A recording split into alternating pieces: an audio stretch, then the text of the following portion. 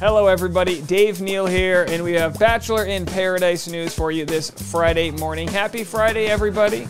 Just several days away to the Katie Thurston season premiere of Bachelor in Paradise, which I'll be covering with a pre episode live stream and a post episode live stream. So, subscribe to my channel for all of that content. But in the meantime, we have Bachelor in Paradise news as reported here. Sarah Hyland and Wells Adams are also co hosting Bachelor in Paradise, as was reported Earlier this week, David Spade is replacing Chris Harrison on Bachelor in Paradise. Now, hold on a second. Hold on a second.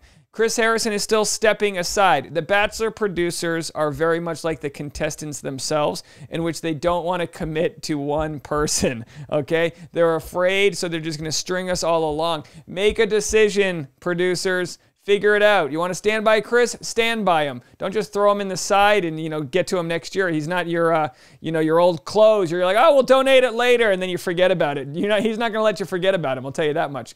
So what they've done is they've essentially said, you know what, we're going to just bring in a bunch of celebrities, a bunch of uh, you know Bachelor fans that that are no, no, you know have notoriety, and we're going to just uh, piecemeal this all together with different co-hosts, different guest hosts.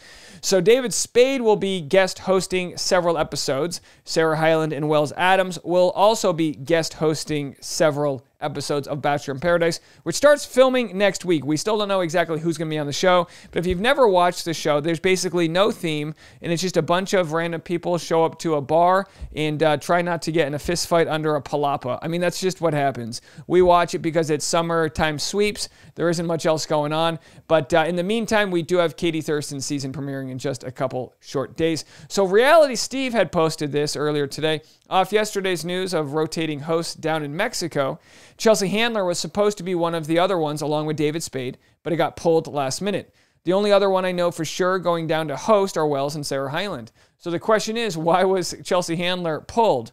Someone in the comments says, so someone as controversial as Chelsea Handler can host Bachelor in Paradise, but Chris Harrison can't? Haha.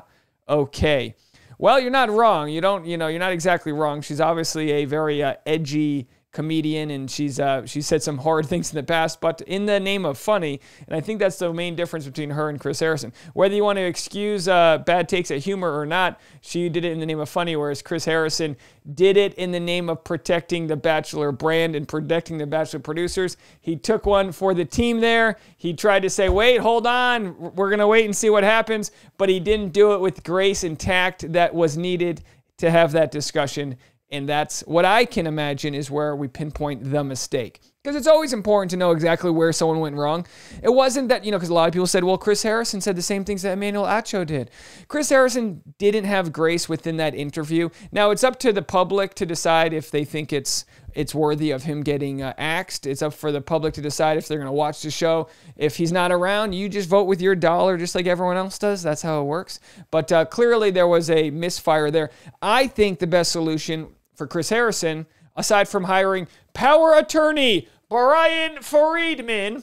Uh, don't you like that power re- recapper there? Uh, I think the best thing for Chris Harrison would be to go on Higher Learning podcast with Rachel Lindsay and have a difficult and lengthy conversation about what what actually went down. Actually talk it out with Rachel Lindsay and you know do something more than just a three minute edited video.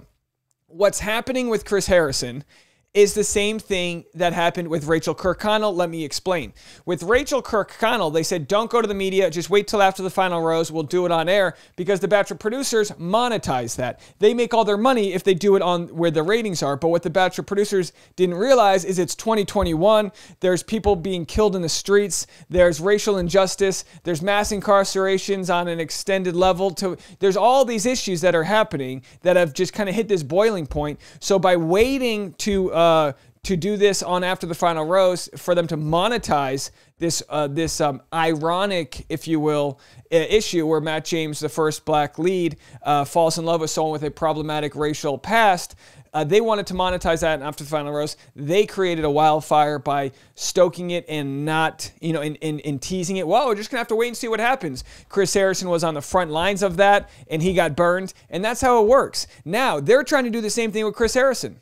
They're trying to say, yeah, just don't talk to the media, just go to Texas, hang out, hang out. Well, how far are they going to kick the can down the road before Chris Harrison does what Rachel Kirkconnell does, goes off script and says, you know what, this is baloney. This is my story, and I'm going to tell it.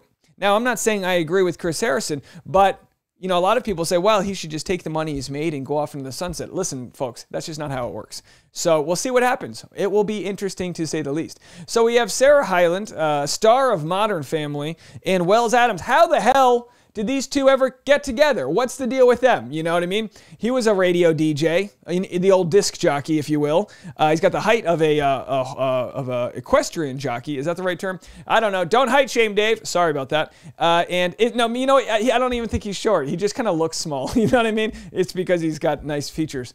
All right. So anyway, uh, let's find out how they actually got together. It looks like we have a nice case of sliding into the DMs, which is the romantic modern day way of showing up with the stereo on top of your head and playing a song. This is just sliding into the DMs. See, before you'd have to dress up and get a nice boombox and double D as you know batteries and if you're too young to why don't you just use your JBL speaker that's rechargeable shut up Trisha that's not how it worked in the 90s or 80s or whatever okay all right so um you know, you just have to show up, and now you can just, uh, you know, slide a DM while you're on the shitter. You know what I mean?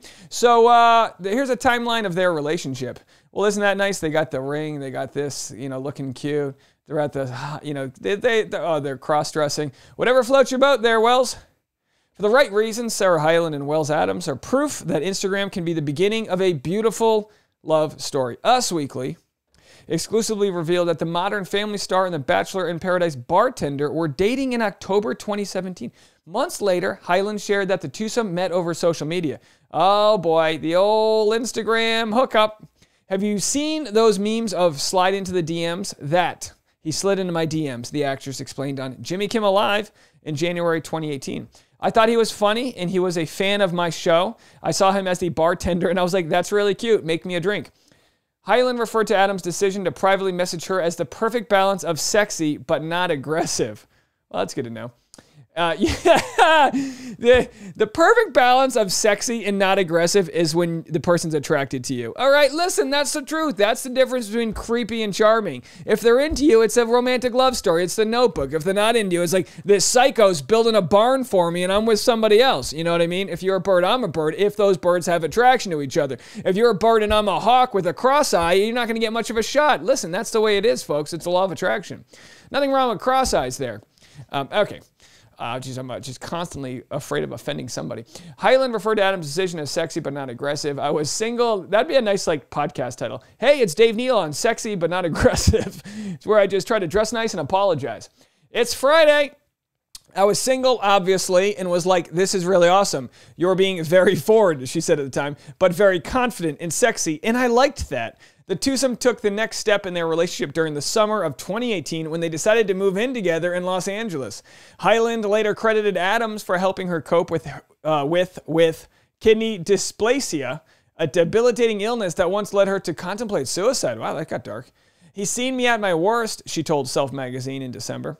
2018. I think that's why I feel the most beautiful in his eyes, because he still finds me beautiful after seeing all that. It was a really intimate start to a relationship to have to go through those hurdles at the very, very, very beginning when you're just even getting to know a person. So, kidney dysplasia, does that mean she was like, um, you know, getting really sick? I, um, I got food poisoning uh, over the uh, a couple months ago actually, and Tasha, my fiance, and I lived in a studio apartment, and she saw me literally lose about 15 pounds in one day in, in body fluid.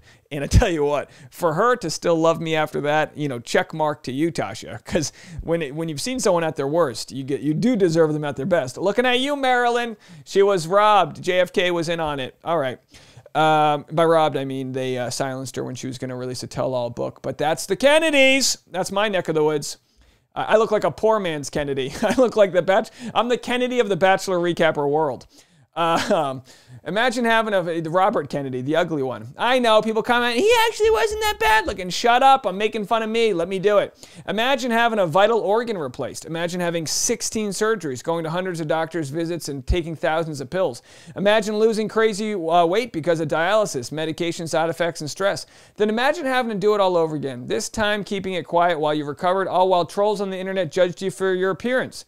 The podcast host told Us Weekly exclusively of Hyland's health journey at the time. Oh, and throw in filming the funniest show on TV and executive producing and starring in a movie and never breaking down and never losing it. I know Gal Gadot is Wonder Woman on film, but Sarah is the real life version. Wow. That's a that's a nice come up by your guy. Adams and Hyland got engaged in July 2019. That can't eat, can't sleep, reach for the stars, over the fence, World Series kind of stuff. The comedy actors captioned a photo from the beach proposal, quoting the 1995 film It Takes Two. Scroll through to revisit their love story. Oh, so here they are. This is a nice uh, scene that they have there from uh, what's the, what's the show? Uh, Stranger Things. Is that what that is? They, uh, you know, oh yeah, no, no one had the idea to do this as a Halloween costume. None at all. Let's see if I can get any more photos here. I don't know if this is going to go through. We might not be able to scroll through here because, uh, you know, these are garbage websites. Oh, here it is. So uh, we just go right down a nice black and white photo of them. Yeah, we're gonna really enjoy. Leave a comment. Let me know what you guys think. I think we're gonna really enjoy. That's a dog. Seeing them uh, as co-host. I'm surprised she's doing this. Uh, uh, she has an estimated net worth of 14 million. And uh, it, how old does that make her? Born in 1990. Geez, boy, 31. All right, folks, uh, turning 31 this year uh, doing the math right. So she's 30, and how old is Wells? I'm assuming he's around 35. Good. You know what? She just isn't this great? Doesn't she seem like she's always been 16 because she's just like a petite person? Um, She's been in Veronica Mars. She was on Modern Family for 11 years. That's ridiculous. So she was on Modern Family starting in 2009. So she was what 19? Did I do the math right? Something like that. Dirty Dancing, the TV movie. I'll take any version of Dirty Dancing at this point. If you, uh, what's it? No one puts uh, no one puts Wells in the corner, right? Isn't that how it goes? Uh, unless that's the thing you're into. Um, and then you get some weird, like, uh, you know, the older you get, the older you get, if you're a New York actor, you get the special victims unit where you just play a dead body. We've all done it. One Life to Live, did the soaps. All My Children, another soap. Uh, yeah, a lot, lot going on there. Another World, another soap. A Tall Winter's Tale, Private Parts, Howard's daughter. Oh, she played Howard.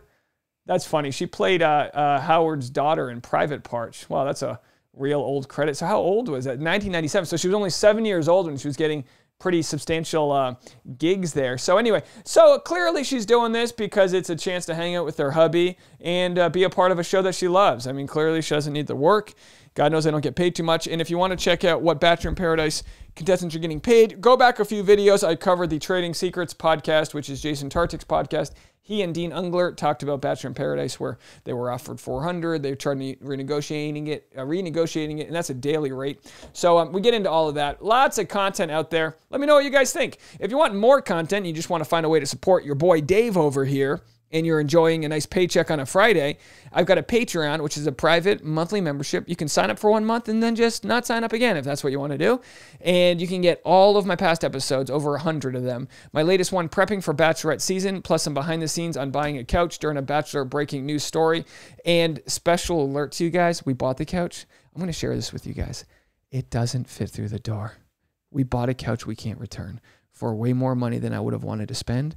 We we ripped it and it doesn't fit through the door, I'm going to share with you guys on the Patreon only what I'm going to do this afternoon to get it inside. I have a plan, guys. I'm going to share it on the Patreon only because I think my landlord follows my YouTube and I I'm just kidding, but check check it out on the Patreon that's where you want to go see it. Anyway, so that's over there. You can go see all of that. I even showed my old live streams on there and some other breaking stories. So that's all on the Patreon. You can go get that over there if you would like it. Yeah, there's a private Snapchat. It's called Lens on the Patreon where I can just share things with you that you know might not be comfortable sharing with public. Tasha had a couple amazing auditions this week. Um, she's ready to shoot for the stars. Big time movie, big time TV show. So fingers crossed. Give her your positive energy. We're wishing her the best. Uh, just getting the audition and nailing it is such an achievement. So we're hoping she hears some yeses in her life. And thank you guys for providing me with a yes, which is a successful YouTube channel. I appreciate all of you. You know, 65% of people that watch my channel aren't subscribed yet. That's a fact. So if you uh, thought you were subscribed and you're not, go do yourselves a little check and see if you are subscribed. The best thing you can do for me is watch the content, leave a comment, and give it a like. So thank you guys so much for that. And I will be here later this afternoon with more stories after I uh, put that couch where it belongs. All right, bye, guys.